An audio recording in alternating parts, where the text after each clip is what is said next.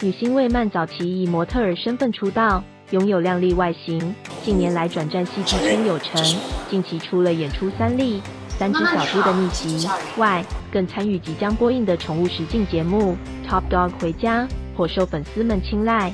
魏曼二日分享自己减肥至今目前为止的成果，透露被发型师说瘦了一圈。她更罕见贴出多张自拍照，引网友大呼下巴回来了。魏曼于社群平台脸书与 IG 晒出数张自拍照，透露自己进入轻断食第六天。发型师说：“我怎么瘦了一圈？太开心了，就拿起手机狂拍了两百三十五张照片。只见照片中，魏曼的脸部线条确实比先前要立体许多。”侧身照也显得很苗条。最后，魏曼还附上一张美食店地图收藏的截图，探说是不是要跟最后一张照片说分手？